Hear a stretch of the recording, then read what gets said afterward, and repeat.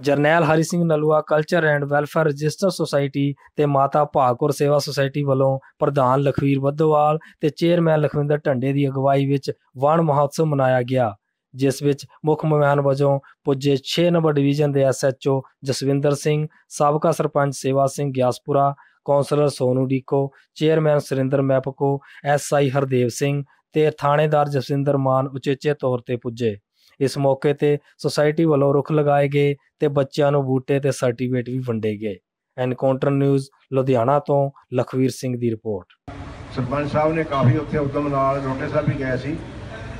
ਰੋਟੇ ਸਾਹਿਬ ਤੁਹਾਡੀ ਵੇਟ ਕਰਦੇ ਰਹੇ ਅਸੀਂ ਉੱਥੇ ਉਦਮ ਤੇ ਬਹੁਤ ਅੱਛਾ ਪ੍ਰੋਗਰਾਮ ਛੋਟੇ ਬੱਚਿਆਂ ਨੇ ਕਾਫੀ ਅੱਛਾ ਪ੍ਰੋਗਰਾਮ ਸੀਗਾ। ਛੋਟੇ ਮੋਟੇ ਇਹਨਾਂ ਨੇ ਗੀਤ ਸੰਗੀਤ ਵੀ ਕੀਤਾ, ਬੱਚਿਆਂ ਨੇ ਕਾਫੀ ਅੱਛਾ ਪ੍ਰੋਗਰਾਮ ਸੀ। ਜੋ ਅੱਜ ਦਾ ਸਾਡੇ ਕਾਉਂਸਲਰ ਸਾਹਿਬ ਦੀ ਇੱਕ ਰਹਿਨੁਮਾਈ ਥੱਲੇ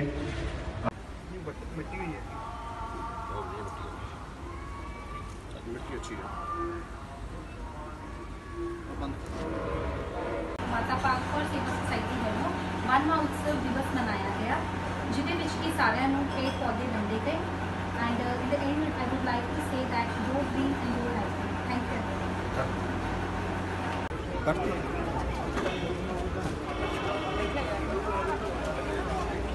you Singh Nalwa ਸਮਾਜ ਸੇਵਾ ਦੇ ਇਹ ਜੋ ਉਪਰਾਲੇ ਕੀਤੇ ਜਾ ਰਹੇ ਹਨ ਇਹਨਾਂ ਤੋਂ ਲੜਕੀਆਂ ਦਾ ਕੰਮ ਜਿਹੜਾ ਹੈ ਇਹਨਾਂ ਨੇ ਉਹ ਵੀ ਬਹੁਤ ਵਧੀਆ ਉਪਰਾਲਾ ਸੀ ਛੋਟੇ ਬੱਚੇ ਨੂੰ ਉਤਸ਼ਾਹ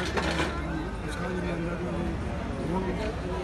ਬੂਟੇ ਦੇ ਅੰਦਰ ਇਹਨਾਂ ਨੂੰ ਲੈਣ ਤੁਰੀ ਗਿਆ ਇਹ ਵੀ ਬਹੁਤ ਵਧੀਆ ਉਪਰਾਲਾ ਹੈ ਆਪਾਂ ਨੂੰ ਉਹ ਸਾਰਿਆਂ ਨੂੰ ਚਾਹੀਦਾ ਹੈ ਹਰ ਤੋਂ ਵੱਧ ਕੀਤਾ ਗਿਆ ਵਨ ਮੌਸਮ ਦੇ ਵਿੱਚ ਬੜੀ ਵੱਡੀ ਤੇ ਬੜੀ ਅੱਛੀ ਗੱਲ ਹੈ ਇਹੋ ਜਿਹੇ ਮਾਹੌਲ 'ਚ ਇੰਨਾ ਟਾਈਮ